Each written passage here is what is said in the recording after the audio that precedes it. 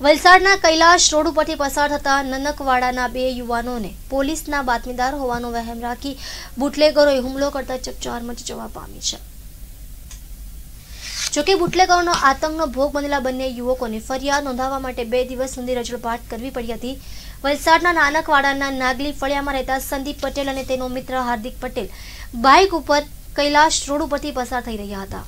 તે વખતે બુટલેગર સુનિલ ઉર્ફે ચોંગી મનીષ ઉર્ફે ગોટિયો નિકુંજ ઉર્ફે કાળિયો અને ટકલો, અને ટકલા નામના બુટલેગરોએ તેમના પંદરથી વધુ સાગરીતો સાથે ધસી આવી. બંને યુવકોને પોલીસના બાતમીદાર હોવાનો વહેમ રાખી હુમલો કરતા બંને ઈજાગ્રસ્તોને સારવાર માટે સિવિલ હોસ્પિટલમાં દાખલ કરવામાં આવ્યા હતા.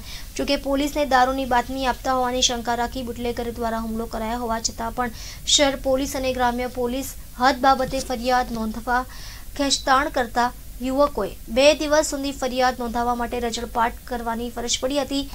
જોકે છેવટે શહેર પોલીસે બુટલેગરો સામે ગુનો નોંધી વધુ તપાસ હાથ ધરી છે. શું નામ તારું? શું થયેલું હતું? તમે ઉપર પર ખાઈને આવતા હતા તો એ લોકોની બદલી ગાડી આવતી હતી બધી દારૂવાળી. તો અમે ભાઈ સાઈડમાં આવતા હતા તો અમે અગાડીથી જઈને સાઈડ આવી એ લોકો અમે અગાડી ઊભી ઊભી રહી છે ને પછી અમને કહેવા લાગ્યા તમે અમારી ગાડી રોક્યા અમને તેમને કરીને મારવા લાગ્યા ડાયરેક્ટ કોણ કોણ હતું એમ ગાડીમાં? સુનિલ જમતી હતો ને એજ ગોટો હતો. અને બીજા બધા પૂરા દસ બાર જણા કેટલી ગાડી લઈને આવેલો તે લોકો? એ લોકોની પાંચ એક બે ગાડીથી પાંચ છ ગાડી. મારવાનું કંઈ ખાસ કારણ?